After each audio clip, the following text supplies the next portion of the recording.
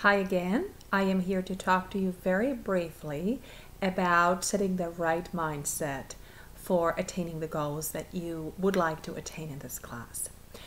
Do you remember when we talked at the very beginning of class, uh, when we discussed biology and behavior, about the parts of your neurons, our neurons, that are called the dendrites, and how they have this amazing capacity to grow to create new synapses, new connections with other neurons, and those connections then form new neural circuitry, and that is basically uh, how we learn and grow, and that is translated into being smarter and better at doing things, more skilled, etc.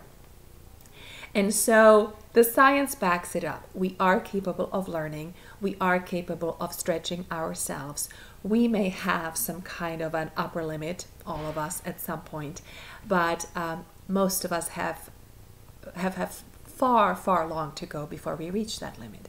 And so part of what I'd like you to be thinking here is when you look at your score and you're not satisfied, instead of thinking you're not good at this or you're just not a good student or you don't have the time and the energy, think about the capacity that you have to improve, to learn. And think about the brain as a muscle, and the more you work it, the stronger it gets. And the more you practice learning, the easier learning gets. And the more you learn, the more you know and the closer you are probably to attaining your degree because that is a lot about learning and knowing things.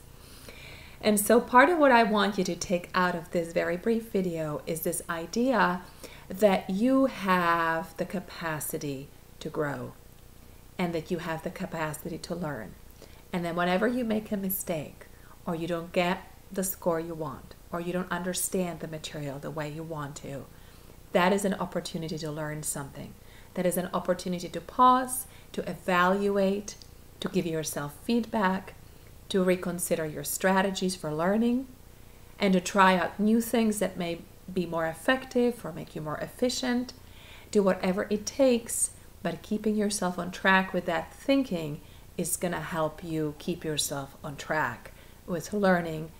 That will help you attain the goal that you have set for yourself.